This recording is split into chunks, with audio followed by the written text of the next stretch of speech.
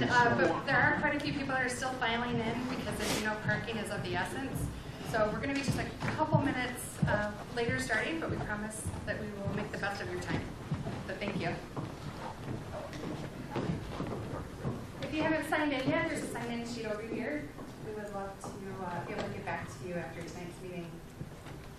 Thank you.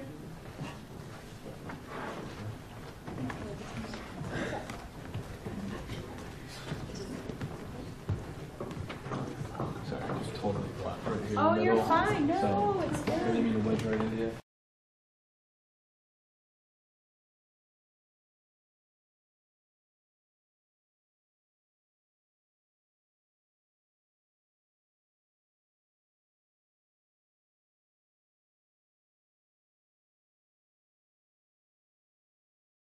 We are going to get started. Um, Good evening. My name is Allison Niamella.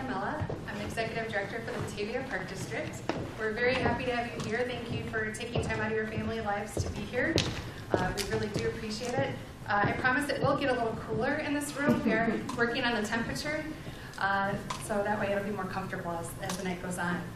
Um, Tonight, I'll be co-hosting this presentation with Williams Architects, with Mr. Tom Paulos and Doug Goldsrichter in the far back. Um, so I will get started here. I've actually been with the Batavia Park District for 20 years, the executive director for seven, and so I'm in love with this community. I've been bitten by the Batavia bug, and um, I've, in my former role here at the Park District, had a chance to engage as the spokesperson for the district in the director of marketing role. So I too understand what it is the public's been asking for since the year 2000. So here's open.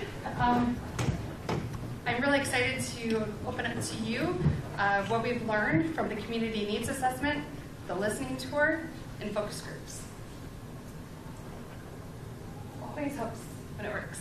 There we go. All right. So tonight's agenda, um, I'll kick off talking about the community engagement that we've been doing over the course of two years. And uh, Williams Architects will cover the design aspects as well as the programming uh, of design areas. And last but not least, next steps Q&A will be handled by my leadership team over here in the corner. Uh, we will actually ask that you refrain from questions during the presentation so we can answer your questions individually with the roundtables afterwards. So we can have a more intimate discussion and we'll be here till 8 o'clock for as long as you need. You need to be here after 8 o'clock, we'll stay after for you. Uh, we just want to make sure that we keep the dialogue going after this meeting. So community input is incredibly important. Uh, the Batavia Park District has been engaging with the community since Britta McKenna was president of the park board for a very, very long time. Um, as you know, we have a very large social media presence, uh, whether it's Facebook, Twitter, social media platforms, you name it, we're there. Um, we're also at the platform, um, the very forefront in many different organizations. We have staff that are that belong to the Rotary Club, that belong to Main Street, that belong to many of the different organizations in town, so we can keep our finger on the pulse of what's going on. We started off two years ago with the Community Needs Assessment back in 2017. In 2017, we engaged the firm called Acuity Research and Insights Incorporated, and Acuity conducted a community-wide needs assessment. And with 11,000 households receiving a post the online survey, or they were going to receive a paper survey if they requested one. 761 respondents came out of that, and which makes it statistically valid. So it's very important to note.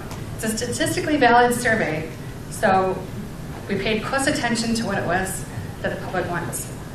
And our demographics show up here, we have it available on our website. So if you'd like to visit our website, you can download this. It's on the home page, so it's nice and easy to find. Um, the average age was 50 years old for the respondents. Um, you know, we felt pretty good about the, um, knowing that the data we received that we collected um, was statistically valid, that we wanted to make sure we had a plan to follow up on it. So the survey distribution is as follows. You can see the river running through our town. Every single dot that you see that's platted is a respondent. So we covered the gamut of Batavia, from Kirk Road down to Butterfield, all the way to Nelson Lake Road. So one of the questions that had a very surprising, but not so surprising, many of you answer, was what was our top weakness? What is an improvement opportunity that we could provide to the public? Facilities came out on top as the number one weakness. 34% of the public that responded had said, can you please do something about your facilities, the lack thereof, or improve upon what you have? And really, in the last 10 years, we have been improving upon what we have. You look over at the Eastside Community Center. Um, even look here, we're planning on making this regulation-sized gym, uh, new flooring for next year. So we're really working on improving the existing facilities we already have. Shannon Hall, we just did a beautiful renovation uh, four years ago. When, when we asked, what exactly are you looking for us, priority-wise, to improve, the top three answers were, we'd like you to add an indoor pool, because people love the quarry for the two and a half months that it's open, or I should say they like it, but they would love to have an indoor pool. We can create a year-round swimming experience. Second on the list, fitness components, whether it's a center or actual components. Um, people want a place where they can congregate, where they can work out, work on the wellness aspect. Indoor walking track. Uh, yes, the school district has one, but it's preoccupied the majority of the time with students, so people would like to have another experience for walking. so this is a little overwhelming. You can digest it. Like I said, this is up on our website.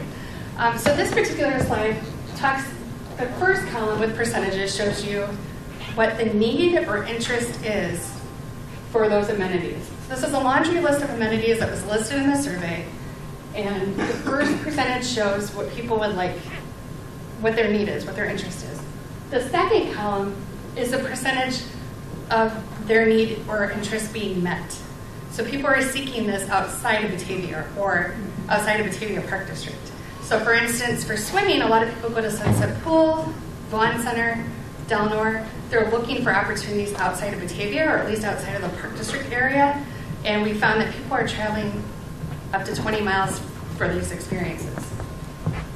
So you can see they're ranked sequentially by the, the need or interest. And um, so they, the indoor track was the biggest need, the biggest interest, um, all the way to dedicated space for seniors. Which, just to make a side note, dedicated space for seniors can also mean multi-purpose rooms that can be dedicated during prime time hours for seniors, and then after school hours can be dedicated towards youth. So multi-purpose means multifunctional, multi-generational.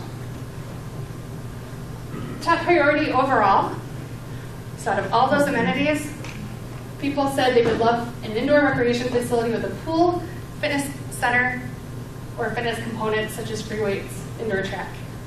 50%. That's pretty astounding. But this fact right here is the whole reason why we continued with our, continu- our community engagement. We had focus groups with up to 50 people in them. We 50 people total for the focus groups. Um, we continued because 75% is astounding that say they are interested in some sort of recreational facility to meet the needs here in Batavia. So as you can see, it's broken down into strongly support or somewhat support.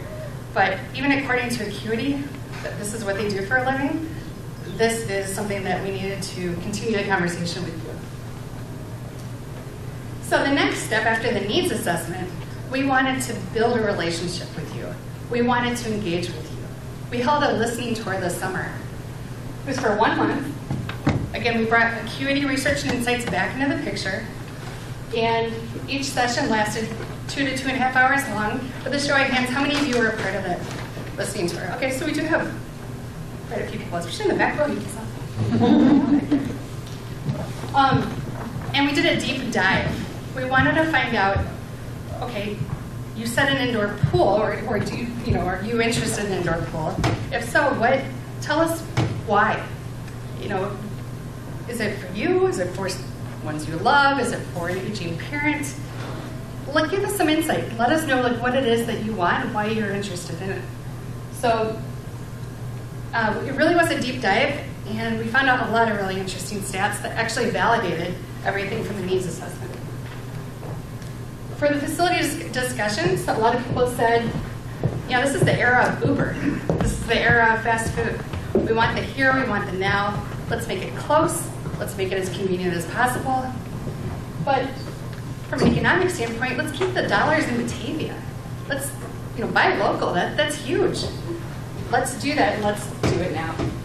Benefit to all residents. Make it multi-generational. Whatever you end up building, this is what the public told us, whatever you end up building, make sure it's something that my neighbors can do with me, or that my 90-year-old mother can do with me. Like, make sure it's something that we can bring people together and connect and congregate as a community. And address changing community trends and needs. I can tell you that pickleball is a huge trend on the uptick. And you know, our staff does a great job of paying attention to trends on a national level, state level. We like to be an innovator. We just held our first Kubb tournament. Kubb, how many of you know what Kubb is? Come on, let's be on. Oh, show off. but um, so we really like to be on the cutting edge of things. Batavia really is trying to be innovative, and we're doing things that are knocking the socks off of Geneva and St. Charles Park districts. Amenities within. So again, if we're talking about the listening tour, the deep dive, the number one thing that came out wasn't listed on our needs assessment indoor turf. And the reason for this, people said they wanted a year round experience, just like with swimming. They want to have the outside experience, but then wintertime, because we're in the Midwest, they want something where they can go year round. And with indoor turf, if it's raining outside, what better way to bring practices inside? In the wintertime, bring it inside. And build it large enough where it could be soccer, volleyball. Every sport can exist in indoor turf, with the exception of basketball. But being creative and clever, you can have basketball. You just have to lay tiles of gym floor on top, much like the United Center, laying down, the, there's ice underneath the basketball floor there, tiles. Architecturally, it can happen. You just need the magic and the, the brains behind it to make things like that happen. Uh, indoor water, you know, it, we're no strangers to Batavia being the last in the Tri Cities to have to have a swimming pool. We have a beach. It's great. The non-residents love it more than the residents. So our surveys tell us. Um, you know, we take great care of the beach, but people like to have something that's temperature regulated. People are kind of done with the whole solar powered or solar heated. You know, they really want to have something that, uh, you know, a warm experience that they can feel comfortable in. And fitness facility, this doesn't mean a fitness center, according to our listening tour uh, participants. They really wanted something that they could, they wanted to have an area for CrossFit. It could be a class for that, it could be a fitness on demand class where you don't have to have an instructor, but you can pop in a CD and you can have a private classroom of your own. So, really, just thinking beyond the traditional facility needs. A lounge area for socializing. This came up in every single listening tour. People really wanted to connect. You know, Batavia, as we know, is very special. We have the highest number of volunteers in Batavia. We have, you know, festivals that everybody treats as like a class reunion. You see people from 30 years ago from Owen City Festival. Um, you know, and you don't get that in the other areas that surround us. You know, Batavia is truly something special. People wanted to have an area where they could have a fire pit and meet total strangers around the fire pit. They could play acoustic guitar and have an open mic. You know, just a place where people can go, whether it's outside and have an experience in a patio, and maybe there's tournament play inside going on, but then they connect with other people outside. And indoor open gyms. So at the Park District here, we have two gym spaces. We have one and only regulation size gym, high school regulation size. It's on the opposite wall here, and we have a junior high regulation size gym. You know, and that's, we are programming rich, but facility poor in that regard. Uh, social elements, we did talk about this. Uh, entertainment opportunities, people really want to connect again. It's really about getting to know each other and feeling comfortable and safe and really that small town charm. You know, I, I like to say that Batavia is small town, big charm, small town, big shoulders.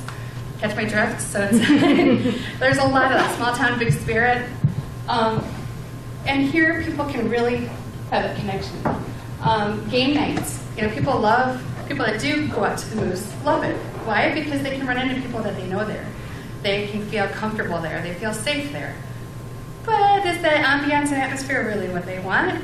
Well, they like something different, but they kind of want that cheers atmosphere where everybody knows their name. Um, guest speakers, demonstrations, social gathering space, you catch my drift. Um, one thing again brought up in every single listening tour people want an alternative to the quarry. So we did mention a lot about this. Uh, year round swimming, just like with the turf, year round play opportunities, and greater sense of safety. We know for a fact that Batavia High School has to rent uh, from West Chicago, and their teams have to take a bus, travel all the way across to get there and back, and that can be very cumbersome and very uh, any of you some parents, I see a lot of nodding heads. You get it. It's a lot. It's very taxing and burdensome. So, you know, if we can provide that experience here in town, uh, all the better. So that's really, up to this point, this is what we've heard from you between the needs assessment, the focus groups, the listening tour, and now this is just a reminder of who we are and where we match up. So we serve 95,000 people annually. That includes non-residents as well as residents. Uh, we are the number one employer of youth. We're really proud of that because you know, we're, we're, teaching teenagers how to set their alarm clocks to be responsible in the morning for whether it's lifeguarding, camp counselors, gymnastics coaches. You know, we're really proud of that. You know, we're, we're raising a generation with you. And uh, we have just shy of 400 acres. That's pretty significant for Batavia. When you look at the size of Batavia, um, you know, population 27,000 per the census from 10 years ago, uh, 40, 400 acres is significant. Um, you know, in 2,000 programs a year. As I said, we're programming rich, but facility poor. And to that point, here's our parks and properties map. It's really tiny, so I'm not going to stand it long because I don't want you to have eye strain. but um, you know, we do have this facility, which has that high school regulation size gym.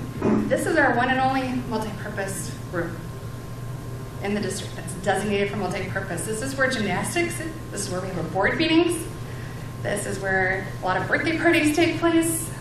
Um, we've done the best we can with it. You know, fresh coat of paint.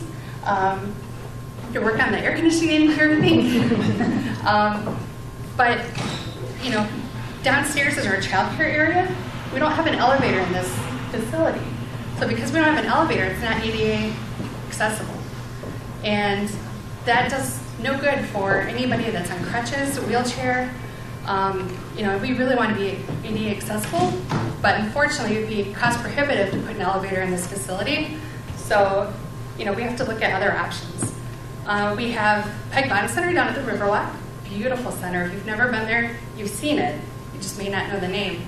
But Peg Bond Center, uh, thanks to Britta McKenna and her husband Steve, that helped raise the funds way back when um, on a committee to develop the Riverwalk and put the bricks down. But that there's a beautiful performing arts center, so we can have our concert series down there. And that is a primarily a rental facility. Um, we have tried programming in there, but there are some issues with acoustics. Uh, we have the lodge at Laurelwood, used to be called the Old Boat Club. And that almost acts like a multi-purpose room, like one big room, but that's where our Special Recreation Association, Fox Valley Special Rec, uh, hosts their camps. So that's completely booked uh, for the majority of the time, especially in the spring and summer. And then we have the Eastside Community Center. That's the charm, that's the jewel. That we've invested a, a lot of resources into that facility for our preschool, the New Horizons preschool. Um, and we also have uh, the junior high regulation size gym. So, you know, again, Shannon Hall's there. Um, we just uh, installed a commercial grade kitchen inside Shannon Hall. And uh, we will be offering cooking classes. You can have Thanksgiving at Shannon Hall, be able to cook your feast there. We're going to um, work a lot with independent contractors and getting professional chefs to come in and teach classes. Maybe we offer some classes for college kids on how to cook. um, but we're also working on our liquor, liquor license so we can cook with wine then. To add it up. Uh, Shannon Hall is really the gem of the Park District um, when you look at facilities. Shannon Hall, um, we offer our yoga classes inside Shannon Hall. It's beautiful, the ambiance with the stained glass windows. And we offer many a wedding. We usually have three weddings on a weekend um, at Shannon Hall.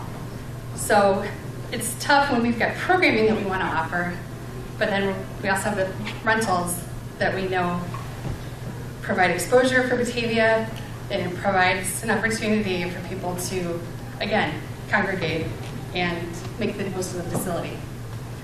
Also, we have Kemp Hall, which is a charming little schoolhouse that's right by the Eastside Community Center, and that's our dance studio. And it's also, on the weekends, our bridal room. So we rent that as a bridal room. Uh, the brides will walk across to Shannon Hall. It's kind of a creative use of space.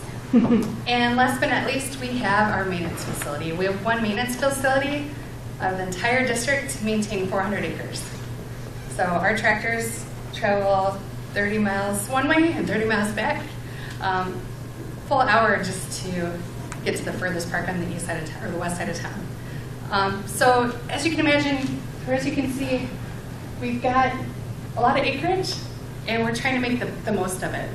And this is where I leave off, hand the baton to the architects. We've talked a lot about what you've said, what you felt, the deep dive.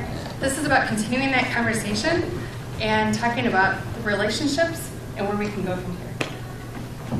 Thank you, Allison.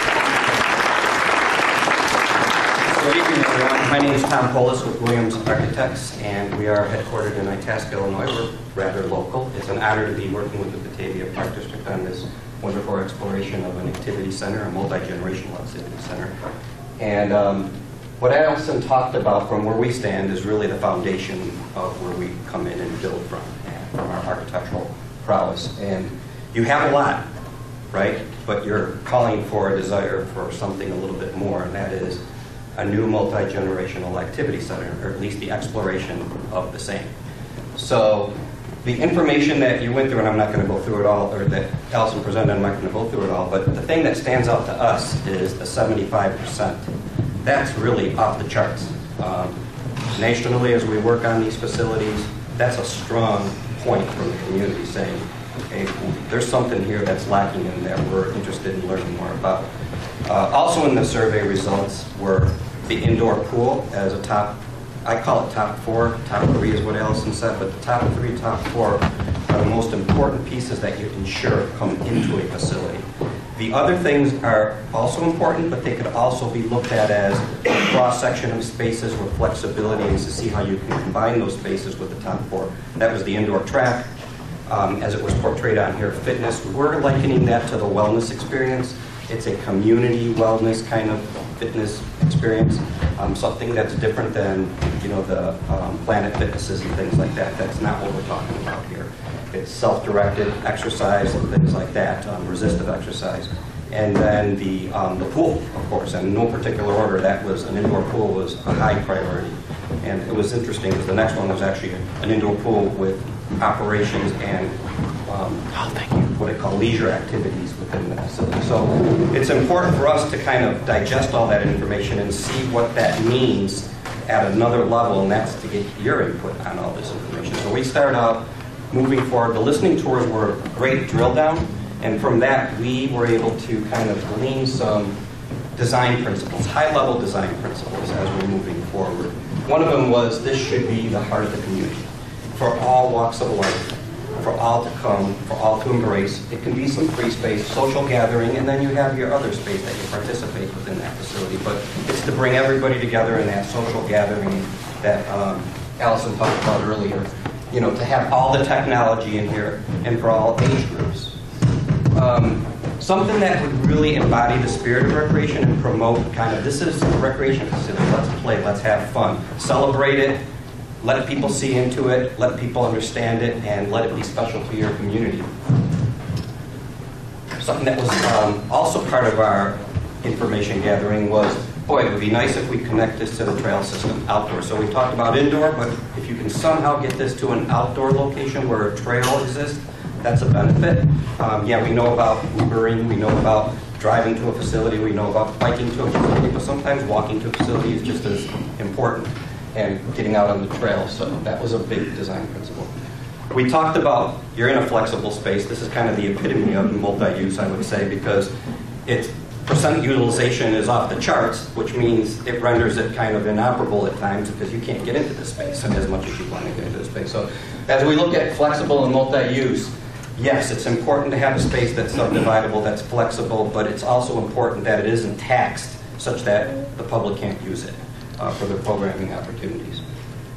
Um, multi-generational was a key word here, and that's one of our kind of highest design principles, quite honestly, that it's for all age groups and it involves everyone in the community from a cross-section. Inclusive. Um, staff worked on this from the listening tours, and we thought that was important, you know, for all abilities and for all walks of life. Um, social and community well-being, so that it promotes that. It has a place here. The, the older adult is forever evolving in our line of work. You know, we're educating ourselves. We're growing into that role as younger adults, growing myself right there, growing into the older adult age, and we embrace those that are already at the older adult age. So something that offers that kind of experience. Promote healthy lifestyles. So when you think of the indoor pools, they could also be opportunities for indoor exercise and indoor um, learn to swim opportunities. And then, of course, there's uh, environmentally sustainable is big in this community. So we thought about environmental sustainability. That should be a design objective to wherever it makes sense from an affordable standpoint. You know, so it's not to implement everything across the board that's environmentally sustainable, but things that make sense here. Um, the wind turbine is kind of synonymous with um, Batavia, but there are other opportunities. There are opportunities for vision. There are opportunities for um, getting natural daylight into a facility. There's, you know, just connectivity to outdoor spaces is a big deal from an environmental perspective, as well the HVAC, and then there's the performance standards within the building. And maybe even we put some green features, meaning true green, within the facility. It doesn't mean a roof green garden, but something outside, something demonstrative. You know, there will be a site to this sometime. And then there's also the financial sustainability of this facility. You know, how you operate it. Um, what do we do to function? How are we funded? And how is this whole thing controlled such that it's financially sustainable uh, once it's built? That's a big piece to us. Lifelong lear learning experiences within the facility itself, too, are were important. And really, all those are the criteria, the foundation from the listening tours, moving it forward to now what we're going to present as an opportunity for programs, right? So now I'm going to show you some pictures of spaces that kind of take the next step from what you heard in a verbal survey kind of context. And they're broken up into aquatics, um, athletics. Turf falls under athletics. Gymnasiums fall under athletics. Many things fall under athletics. Wellness is what we kind of geared the new group exercise and fitness experience to. General program space, so that's the multi-use general program, interchangeable terms. Uh, control is really what it takes to run this facility, the support for the facility, and then common space, corridors, lobbies, things like that. Um, so a lap pool, we're thinking from six to eight lane lap pool, um, something that's kind of invigorating, has some life to it, has the right ample deck space to it. So you think of a body of water, that's really important when you're doing um, swimming and learn to swim and programs, but so is your deck space. Because sometimes that dry instructional area is really important before you get into the water itself. And uh, for all the lifeguards and trainers, that, that means a lot to them. We're also thinking about a warm water program therapy pool. I, I don't like to call these therapy pools because they do much more than that. They're at a level of temperature which is somewhere around 92 degrees to 94 degrees that allow for a whole multitude of experiences. Birthday party rentals can come in here, aerobics, um, you can sit in the spa. This is just one depiction of one that we've done recently. They have ADA mobility coming into it, so you really can get a therapeutic experience here. And if you get a partner, a wellness partner anywhere, they're able to program out of this facility too.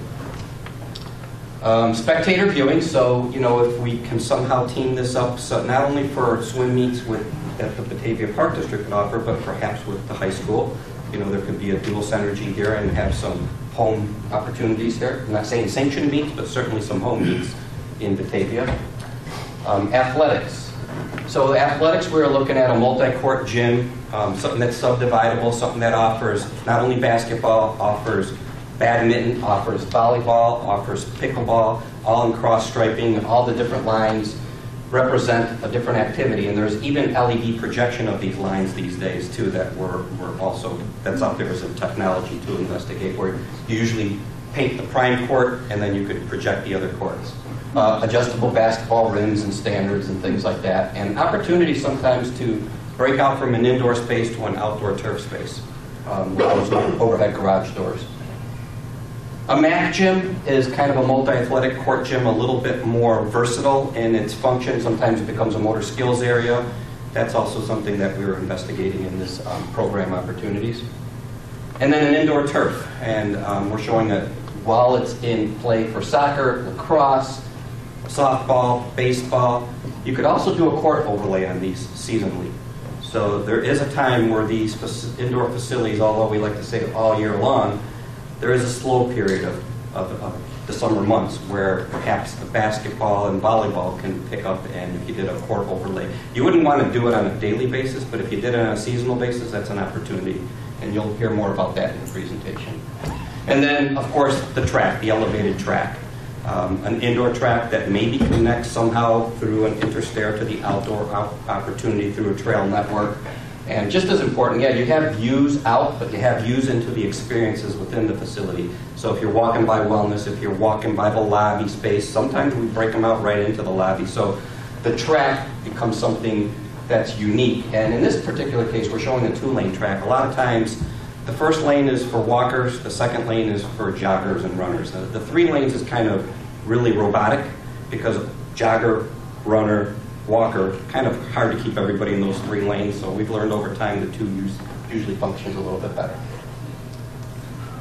And then the wellness is all about, you know, maybe some TRX, maybe some other kind of resisted machines, um, yoga, a whole opportunity for stretching and um, what we call group exercise studios. Group X is the way to say it, or even self-directed fitness with a TRX beam up above. You could have an instructor in Los Angeles, and people could come in and have a program opportunity there with somebody unique that's not part of the park district from a training perspective. And then some general program space we showed you earlier in terms of flexible and filling the coffers, but you know, a, a room that's situated such that it's dividable, it has open views. Sometimes it could have, like this one does here, an outdoor deck, so you could bring the function from the outside, inside, outside, and have an extended season on it. Um, the proper projection. Some of these rooms can be converted converted over to esports. So this is really more of a program opportunity. You do a couple tweaks, you have a, enough storage area for these machines. It's a growing trend out there right now, and it's more popular than people believe it to be if you're into that. It's beyond my own capacity, but anyway, I know a lot of younger millennials are probably out there. How many people show of hands? Anybody here at the esports here? All right. Sure, yeah. Do it. No, Yeah.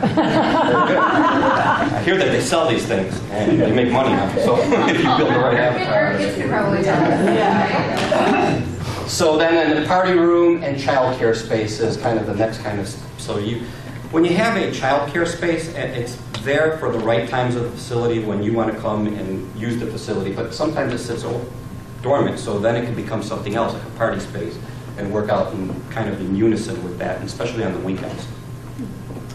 And then a warming kitchen, something that serves those multi-use rooms, but if you get the right serving window and you put it in the right location, it could also be a concessionaire for the entire facility and create a little cafe opportunity. And then, of course, there's the obvious control. You got to have be able to greet people, and that's big. Hospitality is big. Customer service is big. Get this up front. Greet the, the people coming into the facility. Make it feel friendly and inviting, um, not so much like institutional. And then you have the back of house staff that supports it after well afterwards too. But there is good sec- security and surveillance for everybody's peace of mind as well. So there are cameras in there. There are abilities, usually when you put these in the facility, they're orientated such that you could look at every major component in the facility. And to that, looking at every major component of the facility, well, that lobby space is important. That's your wow factor that's coming in. Upon entry, really, when we're designing facilities, one of our most important points is to come in and situate pieces such that you kind of get that feel and the experience of the entire facility. That you can see the natatorium, that you kind of see where the gymnasium's at. You get a glimpse of the track, you get a glimpse of the wellness, and you kind of get an idea where the general program rooms are. And that kind of self-orientates, and it's, it's not quite like a hotel lobby, but it's certainly a, a wow factor, and more importantly, it's the social gathering space. Um, then you have the sit-down opportunities for your cafe areas and your oversized corridors, queuing corridors and things like that for people to sit and gather, for people to have opportunities to view into the various activities. And sometimes just a comfort space. Um, this was a project that we're working on in Ohio where this was a big piece for the seniors. They wanted a little kind of social gathering and interaction space, but a place that they could maybe crochet and be off the beaten path. And so he, this was a real interesting space to consider. So my partner, Doug uh, Holzrichter, is going to come in and talk about the, the four options we developed at this time. And the four options are not so much just all about design, they're about program opportunities and design. So listen carefully because your input is going to be very valuable. And we are going to have input from you all at the end. It's just going to be in a little different fashion. I'll explain when Doug finishes the um, portion of the presentation. And I'll just quickly go through the four options Doug's going to be presenting. It's, the first one, the major difference is it's a U10 indoor turf field on it. So the indoor field, U10 represents an age group for soccer size and everything starts to fit within it. Doug will talk about the dimensional tolerances. The second option is, what about no turf and a three-court gymnasium kind of option? The third option is a slightly smaller indoor turf, U8, with a MAC gym. You heard from Allison that you have this gym and you have one other, so what if you picked up that one and on the turf, you use that seasonal overlay concept? Just to consider. And then the fourth option is a two-facility option, and Doug will talk about what the two different facilities might mean um, if they're broken up and if that's something that's desired within the facility, um, within the within the district because it did come up in the listening tour. It didn't come up in the survey, but it did come up in the listening tour, so we wanted to acknowledge that. And Tom, I'm just going to chime in for a quick Yeah, second. Um, What's going to be presented are merely con- very conceptual plans. Absolutely. preliminary, that's what tonight's about, to see what you like, don't like, what amenities, uh, would you rather pull out, do you want to keep in? Like, this is very much a massaging session in terms of your introdu- introduction to these four concepts. So this is all very preliminary. Right, so these are the core concepts for your input, and please give us your input. And I- I'm going to stress that. So the program-driven options, and yes, very diagrammatic. What we want to get to is a kind of singular focus solution. So as you look at these, if you see something, one option that you like, but you want to, you like it, you like this option the most, you, we can do that. It's not like you have to pick one, two, three, or four. It's what one resonates the most with you, and what do you like about another option or two that you'd like to see included with, within your preferred option. And Tom, the eight-lane pool is included in every single option as well, correct? No, there is six lane and eight lane, so that could be something that you say, hey, I like this option, but pick up two more lanes. Okay. Without any further ado, Doug will. All right, thank you, Tom. My name is Doug Holzrichter with Williams Architects, and it's, again, it's great to be on board with uh, the Park District on this project. Um, Allison and Tom have- have done a great job in running through um, the input and information that we've gathered to date. Now, some fun. We want to see kind of what these might look like in a conceptual planning uh, exercise. And to re, kind of to reinforce what they said, we've been looking at some planning at a very high level, from 30,000 feet, uh, kicking around some ideas, some concepts, uh, truly kicking them around, and they're, they're really unrefined. So it gives us all an opportunity to chime in and, and provide some additional input. So the listing of spaces here, this is how we start our, our planning process. We look at the spaces that have been um, of interest to the community, and we be- begin to assign areas to these spaces. For instance, the very top one, the athletics, is uh, with the uh, U10 turf court is 25,900 feet. Now, as Tom said, the only distinguishing factor between the four schemes that we'll show you, with the exception of the fourth, is um, the fact that the athletic component changes significantly from one to the other. Otherwise, the other components, whether it be multipurpose, uh, fitness, or wellness, they pretty much stay the same in each scheme. So, And, and, and the aquatics. and the aquatics does as well, yeah. So I won't read you all of these numbers, but you can see the listing of spaces that we are considering. And it's, it's very apparent that the Park District, through this uh, facility programming exercises, really, really, they really have a desire to satisfy the interests of the community and the desires brought forth in the survey.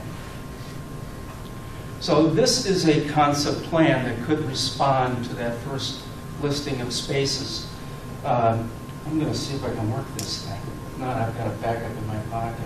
Oops. Yeah. Whoops, That- there you go. that'll be too much. Um, So on the right-hand side is the large athletic uh, component. In this case, it's a turf field. It's a U10 size soccer field. And I'm starting with this because this is the, the- one of the driving factors between this scheme, to differentiate this scheme from the others. Uh, The color of this field may be a little deceiving. It would be a artificial turf field.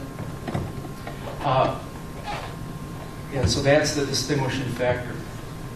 Starting at the beginning, however, we're going to come into the building this way. There's a large greeting area and open lobby space for community gathering and for control. We then uh, circulate through the building, through these corridors here, these large corridors. We can come to the turf field, we can, or we can come to the aquatic component, which is here. In this case, we have a six-lane lap pool with a warm water therapy pool. Now, again, these are unre- unrefined schemes. Uh, As, should this, should things move forward, uh, there would be a great deal of refinement uh, necessary. Uh, These, were- this is the locker room core for the building. Uh, This is a uh, childcare and multi-use space here. Then we have multi-use here as well, and various storage components through the, through the uh, building to serve the various elements. And as Tom and I alluded to earlier, that multi-space, those two multi-space rooms can open up into one large room. So you can designate it as a baby boomer center, as a traditionalist center, as a birthday party space, as a, even a, a I guess a, on a less grand scale, but a banquet area if you wanted to. Right, and it has a warming kitchen, so that's what the WC at the very top stands for, which it would serve the corridor area, the lobby, as well as those rooms. And then on the other side, the party room, like Doug pointed out, the childcare room could be a- another multi-use And here we have sports services, uh, uh, facility uh, control and facility operations would be in this area. These, this scheme, as well as the other schemes, would have the ability to be expanded. Athletics could be expanded this way, as well as the multi- multi-use spaces and uh, other components as well. There is a second level, or excuse me, this is an option to, to put a, a hard court over the surface of the turf field. So in this uh, alternative option, or, or we, could- we could add three full-size courts with, uh, which would run this way, and then over each full-size court, you could have up to three volleyball courts or pickleball courts uh, for, to give it a good flexible uh, program. This is the second level. On the second level, we could, uh, we'll have a stair and elevator in the main lobby, coming up to uh, Well, wellness and, uh, and group exercise in this area. So uh, these uh, facilities, these rooms overlook the track and the gym, and as well as the lobby space. So it provides a nice open feel to the building, and it shows off all of the various components in the building by opening the spaces up to each other. Um, This rooftop also could be used as a future expansion area for the second floor. And we have the uh, running track around the perimeter of the, uh, the athletic component here. So moving to the second scheme, uh, it- this is a, uh, the differentiator here, here is that we have a three-court uh, gymnasium in lieu of the turf field. The other components are basically the same. So again, this is the indoor court, uh, three full courts. The other components are the same with the aquatics here, the large lobby control area here. And Lar- just, just to Yeah. chime in here for a second, Doug, um, the Batavia Park District currently rents uh, gym space from the school district. Um, And so this would provide us an opportunity to alleviate some of that pressure to rent um, by having our own gym space. So if you're wondering why, you know, we have a junior high science regulation gym already and one high school regulation size gym, just having a gym in general, whether it's one or three, um, provides us with more programming opportunities. Um, The multi-use core remains here with the warming kitchen, childcare, and this is the, uh, the operations area. Again, very conceptual, just to give you an indication of what the program could look graphically, look like graphically. Uh, Second floor again, a repeat of what you've seen uh, with the large uh, athletic component here, with the track around the perimeter. On to the third option. In this case, we have uh, a U8 turf field, slightly smaller than the U10, with a multi-athletic uh, gym, about the same size. This is what this, this uh, scheme would look like with the turf field here, and with the hard surface court for basketball, volleyball, etc. in this area. The other components are the same, except the aquatic, in this case, we are showing an eight-lane lap pool with spectator viewing here.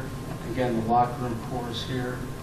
Um, No warm water program there before on this because we expanded the, the lap pool to eight lanes from six lanes. Same depth, though.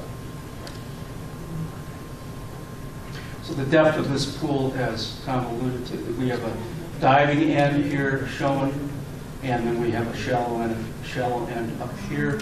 So we do have the opportunity for diving in this pool as well.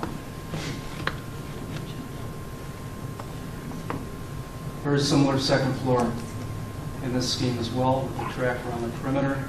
Uh, Again, this is a bit larger here as well, I believe, and this takes the place, uh, the aquatic component is one pool instead of two, this being an eight-lane pool.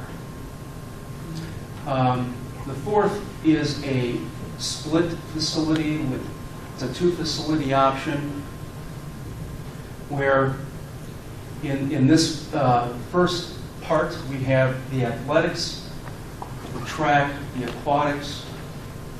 Well, this is the scheme, this is the program, Let- let's look at the scheme now. So we're, we're splitting it where we have athletics and multi-use. In this uh, facility, we have operations here and we have locker rooms here. So this handles primarily athletics uh, and multi-use. In this facility, moving up, and then we have a second floor with a track around the perimeter of the athletics. Open, open lobby, open to the lobby in this first floor. Moving to the second part of this scheme, which is facility number two, it's, it has a- an aquatics emphasis. In this case, we're showing a six- six-lane lap pool with warm water. We have the locker room core here, a large lobby space. uh, And then we have the the group exercise uh, in this area and wellness as well in this area. So this is, you can think about this as an aquatics and, and wellness uh, facility. The other facility in the split scheme would be more athletic. Active rest. So with that, we'd like to move to Q and to do so, So yeah, here's where we'd love to get your input. So we have comment cards, and I know you guys probably have a lot of questions. We're here to answer your questions, but we'd really like you to document your thoughts um, on these comment cards. You could write them anywhere after you ask the questions. We're going to set up some easels with some imagery, mostly of these schemes and of the pictorial of the program. and a little bit of the basic or the foundation of the needs. We're going to spread them around, and you can come talk to any one of us. We're we're available to, um, and I think staff is going to support as well. They've been so patiently sitting on the side there. And um, And Tom, there's just two things that I'd like to Yeah. mention. Uh, One, I know a lot of you are probably thinking like, wait a second, I've seen conceptual designs, are we going out for referendum? How many of you are like, whoa, what's going on here? The park board has not announced that we're going out for referendums. We are not, right now, we are not going out for a referendum. We can say that, we are, we have transparency in government. Uh, You can look at the minutes from our park board meetings up on our website. We are not as it stands, October 8th, going out for a referendum. Um, And also another thing that, you know, our staff is not going to be able to answer because we don't have a conceptual design selected is cost. Because really, the cost boils down to amenities. And there's a price tag to every amenity. So we need to find out from you, what are the needs first? And we can figure out what we can afford based on what amenities you're seeking, what you're looking for. So that's really what we're looking for tonight. So we can't give you any answers on cost, but we can uh, learn a little bit more about what it is that you're looking for uh, in a facility, and we are all ears, we're here to answer any other questions that you may have tonight. And I, and I think we could safely say that all the schemes that we, or the options, the options that we've come up with are generally kind of in the same spirit of architectural and impact. Um, this, the two solution scheme will definitely have some duplication of space, for lack of a better word, support space, control space, um, and in some regards, just extra volume Infrastructure. and infrastructure around it. And probably a little bit more important than that is the operational kind of functionality of the two facilities being separate versus combined, you know, and the experience with regards to the same. You're going to be traveling the two, because they wouldn't be on the same site. That wouldn't make a whole lot of sense. Um, So, We thank are- you. We are Thank you. eager to hear Yeah. what you have to say, and uh, my leadership team is going to be at the various tables. We do have uh, options, the conceptual designs. Yeah, we're gonna put 'em up. That we're going to put up. So uh, the architects will be here as well to answer any questions you have. Uh, We'll be taking a lot of notes. Again, uh, we we want to hear from you. You know, this, we we feel like we've done our homework, or we know we've done our homework up until this point, and we want to continue that conversation. And we hope you are just as excited about what the future may hold as we are. And thank you for your time, but don't leave yet.